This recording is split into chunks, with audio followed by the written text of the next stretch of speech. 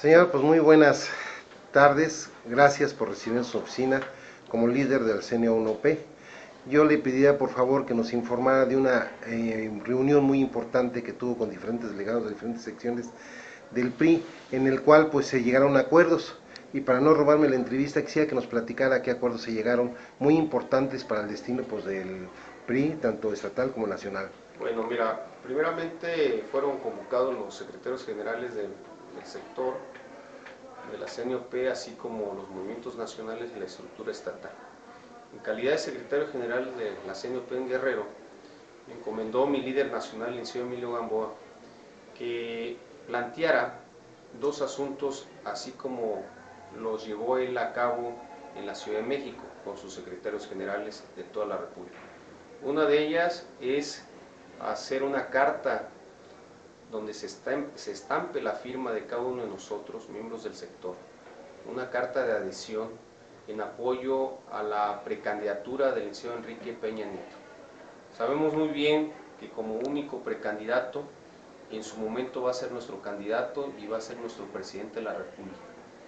Porque el trabajo que viene realizando dentro de nuestro partido, pues da como preferencias electorales que esté pues, en primer lugar.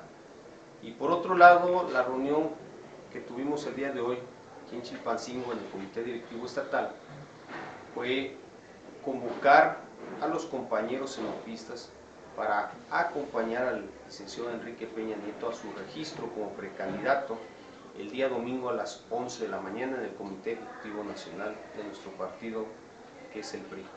Y bueno, decirles que esta reunión pues fue muy emotiva, fortalecida y que vamos eh, de la mano para fomentar lo que es la unidad dentro de nuestro partido.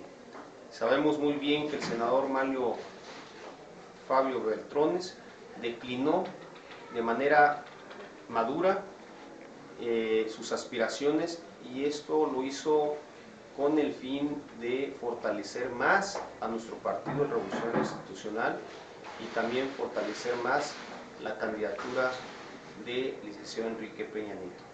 Creo que el senador hizo, pues, eh, lo, hizo lo que él consideró lo correcto en el sentido de declinar y siendo un político de gran experiencia dentro de nuestro partido, y además dentro de las administraciones públicas, como ex gobernador y además como actualmente es senador, creo que dio muestra de esa gran madurez política que tienen los políticos dentro de nuestro Partido Revolucionario Institucional.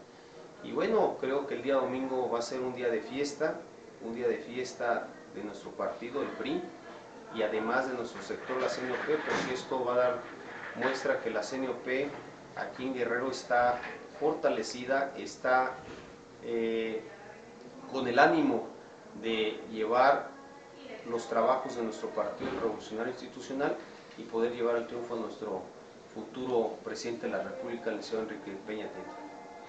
Muy importante lo que nos acaba de decir, señor, cosas muy importantes para el partido, muy importantes para los países, pues no solamente del Estado, sino del país. Y pues eh, ya eh, algo quisieras agregar. En cuanto a las personas que nos van a ver a través de redes sociales en otras partes del país, eh, sabiendo que aquí en el Estado de Guerrero la CNP está fortalecida, ¿cuál sería la invitación para este proceso electoral en el 2012?